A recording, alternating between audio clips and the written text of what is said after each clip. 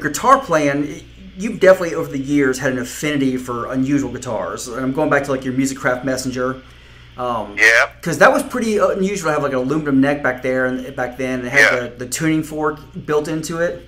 Yeah. So going through that through your career, you seem to have an affinity for Parker guitars. Like, what is it that attracts you to that, or just offbeat guitars in general? It's uh, in the case of the Parker, it's because I had two vertebrae fused together in my neck. I had C6 and C7 fused. Gotcha. And so it's and weight. the doctor told me no more Strats, no more Telecasters, no more Les Pauls, no more SG, no more heavy slabs. And I went, you just killed my whole guitar collection.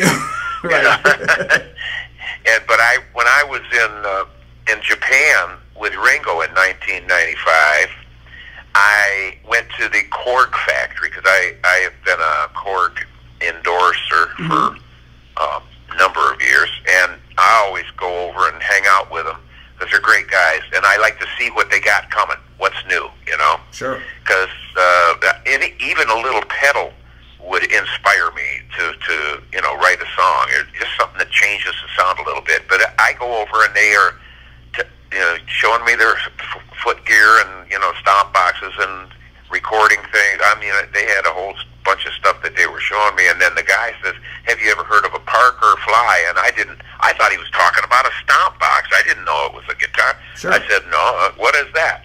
And he, he goes in the other room and he comes back with this strange-looking guitar and he hands it to me. And that one only weighed four pounds, Peter. Wow. It was like when I hit when I picked it up, it, it went up. And I mean, I just like, "Wow, this is amazing." Uh, and then after I had that operation, I flash back in my mind to you know that Parker uh, after he says nothing more than five pounds, and I called Ken Parker out there in Cambridge, Massachusetts, and I said, guys, I need your help. yeah. I need I need a guitar, but I don't want to have uh, tremolo on it. I don't want to have a whammy bar. I, I like uh, hardtail, and I use my hand for vibrato.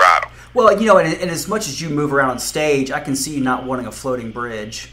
Yeah, absolutely. Right. And these guitars, they don't weigh an ounce over five pounds. I've got two of them that are identical. I've seen people from, you know, your shredders, your your major heavy metal guys to Joni Mitchell playing them. So they're obviously quality. Yeah, absolutely.